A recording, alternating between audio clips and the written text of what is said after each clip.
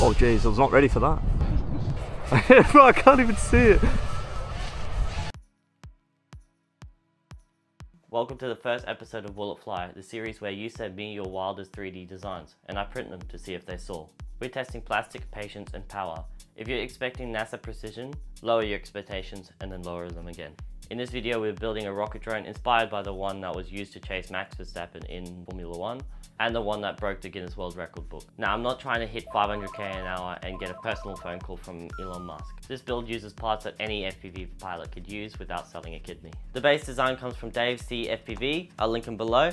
His version runs on the 4S, but let's be honest, I wanted something faster and more dangerous to test so I scaled up to 6S. Naturally, things didn't go to plan, big surprise. The flight stack, motors, and battery were way too beefy, so I took the lazy way out first. Scaled the entire print, but guess what? The holes also scaled up and nothing fit properly, so the M3s were no longer the M3 holes. Everything was loose, wobbly, or some weird mix of both. So I quit the lazy uh, way out. Chopped off all the arms and redrew them in Fusion 360 with the correct M3 hole spacings. By now I had developed a deep emotional connection with the undo button. So I did the whole YouTube channel a video of the uh, the rocket and realized I didn't actually go through the what parts I actually bought for the drone. With the motors I went for a really high kV motor so I went with the iFlight Xing 2, they're 2755 kV which just means the motors would spin faster. With the flight stack and ESC, I went with the B, SpeedyBee F405 V4 flight stack controller, plus the 55 amp ESC stack. With the propellers, I went with a really aggressive style propeller, the Gemfan Hurricane 5 inch propeller.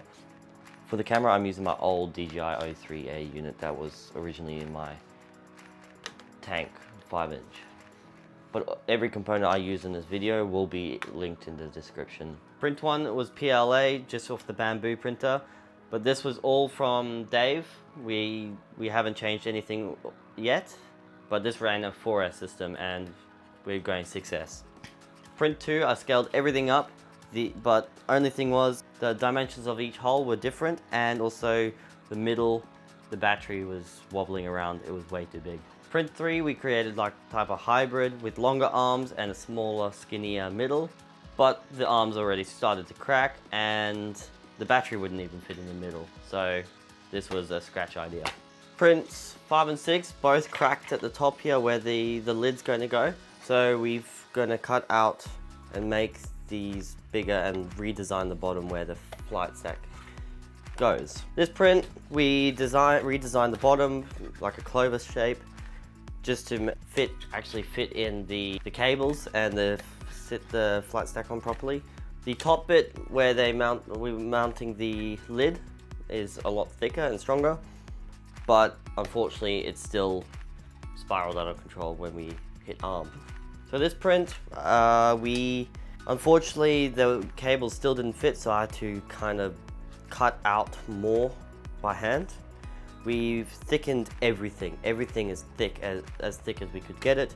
More infill and everything, but it's just so heavy and it's still vibrated. Now we pass the PLA type stage. Now onto PETG. We've made thinner walls because we thought that PETG was going to be strong enough, but it, uh, as soon as we armed, it just spiraled out of control. This print, we've thickened up everything, properly thickened it up just to see if more infill and thickening it created less vibrations and unfortunately on arm when we armed it it still went crazy. So now I was down bad. I dumped the whole Betaflight config from the CLI dump and dumped it into ChatGPT to make some tweaks. It worked a little bit. Then I thought the components that I got were faulty. So I've swapped it to my good 5 inch drone frame with the carbon fiber and it worked perfectly. So it's not my components then I shoved everything from a 5 inch drone, put it into the rocket, and bang, it uh, on arm it went crazy again. Here's my theory. Those 2755 kV motors on the 6S are just too spicy. The frame shook so violently, it was like strapping a blender to a pool noodle. The gyro thought it was possessed and I just couldn't keep up. If you got a better theory, drop it down in the comments below before I start 3D printing myself a therapist. The second last print. We decided to go with the carbon fiber route, so we got PLA carbon fiber. We redesigned the bottom so that there's minimal places that the ESC or the flight stack could touch the frame. We've made off our individual standoffs or spaces and we were hoping with the carbon fiber it was stronger and hopefully lighter, but, which turned out to be the case. On arm, no, it didn't freak out or anything. It just worked perfectly fine. Only thing about this print was the printer was uneven at the base, so the, the first layer that it printed was very wonky. So the motors were uneven. So then we printed out the last and final print, hopefully. The base is completely flat. I put everything on this and then gave it a little fly.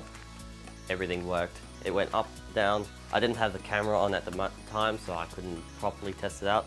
Now I'm in the work of making the 3D prints of the, the nose and the bottom, and then we'll hopefully get to flying. Halfway through the chaos, I finally got my own 3D printer, the Bambu X1 Carbon, with the AMS2 Pro on top. And of course, to test out the printer, I reprinted everything again. The first drone frame from my printer came, uh, it looked sick. But the only thing is, when I put all the components back on, it still spiraled out of control. So I had to thicken everything up. I reprinted it with a new printing pattern and upped the printing infill by 35%. Then I moved on to the nose and camera mount. They came out pretty crispy clean. Now onto the bottom section of the drone. First design, I scaled it just the original print, but scaled it up to the size. But turns out uh, it was a bit hard to find or screw in, so I needed to find holes on the outside to screw it in. Version 3 uh, was just holes basically, simple clean, but mounting it, mounting it with a nut and bolt, trying to, it was just so finicky and was really difficult to put it together. So then someone at work gave me the, the winning idea, brass inserts, so I didn't have to use a nut and a screw or bolt. So with the brass inserts, I use a soldering iron to melt, melt the inserts into the print.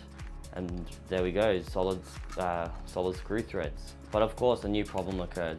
My ELRS receivers were fine, but the DJI goggles receiver, were, the cable was too short. So I had to shorten the base just so that they can squeeze it in. And yeah, I'll admit it, I got lazy, so I just double-sided taped the receiver into place to stop it from falling back into the drone frame. Next, I designed a, a launch pad for the rocket and tried out the, the fuzzy skin feature on Bambu Studio. Honestly, it came out really crispy. So now we've hovered it, we tested it, now it's time for full throttle, basically. Alright, take one. Take one. Uh, I forgot my mic, so we're gonna... So we don't have a mic? We, we don't have a mic. Alright. But you got there's a mic inbuilt mic, which is sort of okay. But we've come to Wilson Park. Sam's volunteered to film for me, which is the only person I could get. Is it bad that I can't see the footage? It's just saying some numbers. Sure, man. Um, Well, I'm not sure if it's filming.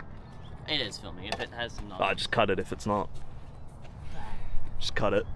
Alright, so what the Well, I can't see what I'm filming. yeah, just, just Oh, there we go, it- we're back, we're back. At me. Just cut that. Film. So,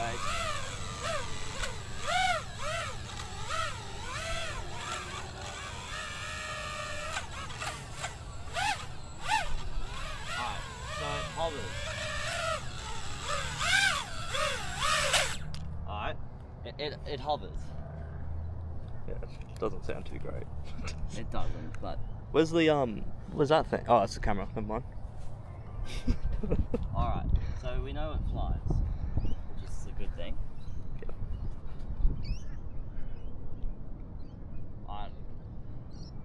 Am I in danger? yeah, you're in danger. Maybe step back a bit. Oh, yeah, yeah. For the shot.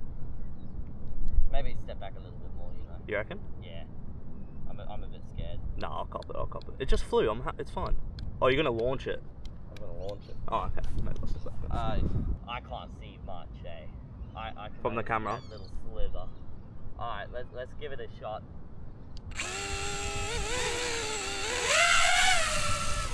Ready?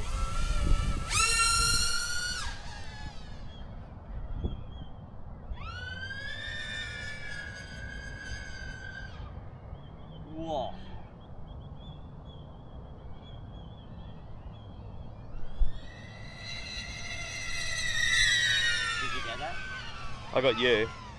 Wait, oh. do it again, do it again. Sorry, I didn't know you want Alright. I can barely see it though. Yeah. Wait, I'm not even gonna watch the camera. Alright, I'll do it. I'll do it. Just chuck some sick audio over this.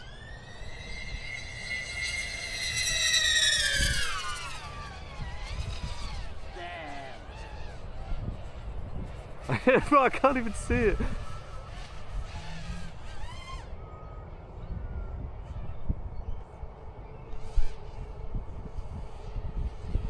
The landing's a bit hard.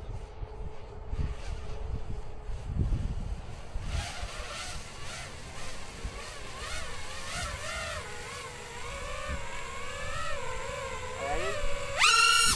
Oh jeez, I was not ready for that.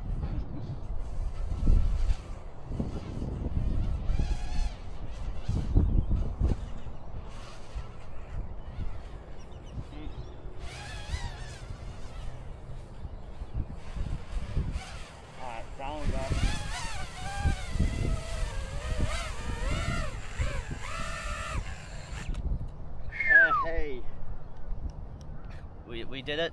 It didn't crash. Back on the floor. Uh, It's on the floor, we'll give it that. it's it's on the floor. But yeah. Uh, you, you want to say anything?